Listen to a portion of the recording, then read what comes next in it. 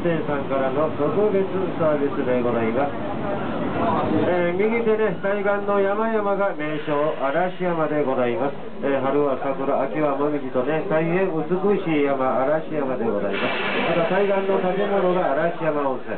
えー、百数年の老舗旅館でございましたが、去年の2月、閉館となっております。また山の中腹にね、派手な垂れ幕の建物が大比較千光寺というお寺でございます。えー、庭からは京都市内を一望することができます。え、これよりトンネルに入ります。え、トンネルを出ますと、トロッと嵐山駅に到着をいたします。えお客様にお願いいたします。えトロッコ嵐山の駅、ホームが短いために、後ろより1号車と2号車、えトンネルの中でホームがございません。えそのためドアが開きませんので、嵐山駅で降りられるお客様、前よりの3号車のドア付近までお越しください。前より3号車、4号車、5号車、左側のドアが開きます。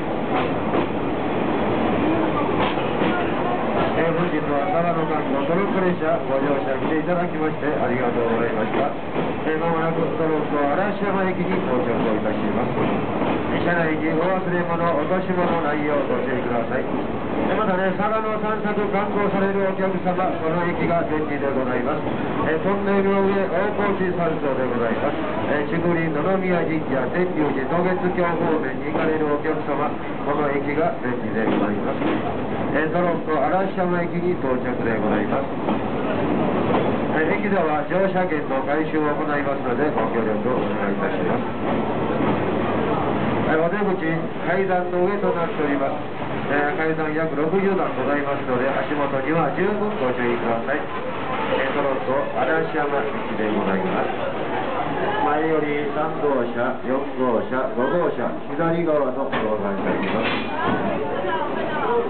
下一站吗？はい、ありがとうございました。トロット嵐山駅に到着でございます。えー、沢の散策されるお客様ね、観光されるお客様、この駅が便利でございます。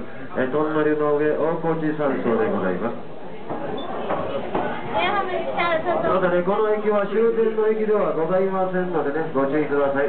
えー、JR にお乗り換えされるお客様は終点トロッコ佐賀駅までご乗車